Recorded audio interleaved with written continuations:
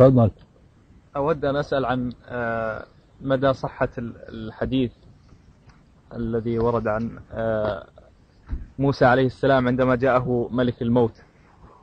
آه، هل هذا الحديث صحيح أن موسى عليه السلام فقأ عين ملك الموت؟ لك ما توده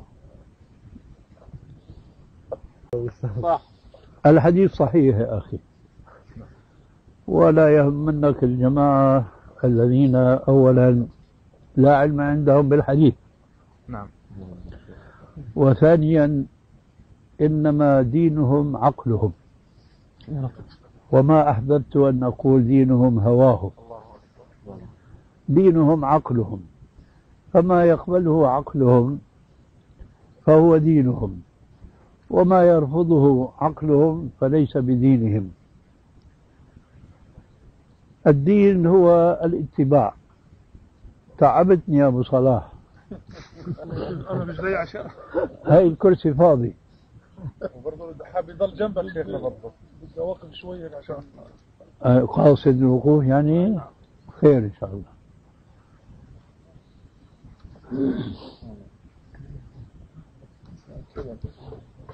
أول سورة في القرآن الكريم بعد الفاتحة. سورة البقرة. ومطلعها ألف لام ميم. ذلك الكتاب لا ريب فيه. هدى للمتقين. من؟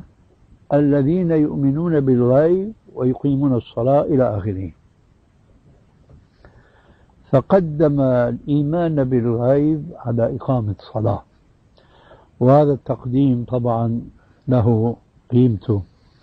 وله أهميته.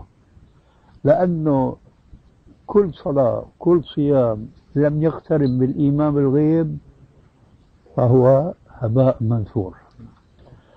لو أن رجل رجلا صام أو صلى من أجل رياضة ما تفيده صلاة ولا صيام شيء. وإنما صلى لأن الله أمره بالصلاة. من أين جاءه هذا الأمر؟ من عقله؟ لا. وإنما من هذا الغيب. عالم الغيب فلا يظهر على غيبه أحدا إلا من ارتضى من رسول.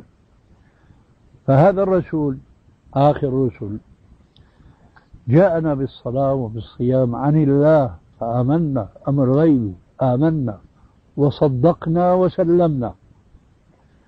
لذلك كان الإيمان بالغيب هو أس الإسلام ولا يفيد شيء من الإسلام أي الأعمال التعبدية إذا لم تكن مقرونة بالإيمان بالغيب. نرجع بقى لحديثك وجزاك الله خير طولت بالك علينا. آه هذا الحديث هو يتأول بطريقة أنه موسى عليه السلام كيف يعقل أنه يضرب ملك ملك من ملائكة الله عز وجل ويفقع عينه وهذا عالم غير عالمنا نحن؟ وكيف يدعى للموت فيكره الموت؟ وهي مو من طبيعة الكمل من الناس. فالجواب عن الأول كما في مسند الإمام أحمد بالسند الصحيح أنه كان الملائكة في الزمن الأول يأتون الناس في صورة بشر. فهذا الملك لما جاء إلى موسى وقال له أجب ربك جاءه في صورة بشر. فما كان مؤمن موسى عليه السلام إلا أن صفعه تلك الصفعة وخلع عينه أو فقع عينه. فرجع الملك إلى ربه وقال أرسلتني إلى عبد لك يكره الموت. قال ارجع إليه وقل له ضع يدك على جلد ثور فلك بكل شعرة حياة سنة.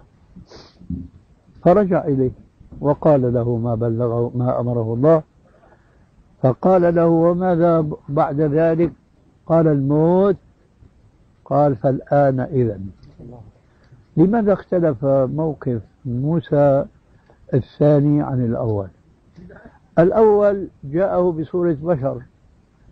لو واحد جاء أي إنسان قال له أجب ربك أو أعطيني روحك سلمني روحك بده يعمل معه أكثر مما عمل موسى عليه السلام مع الملك لأنه مش عارف أنه هذا مرسل من الله تبارك وتعالى.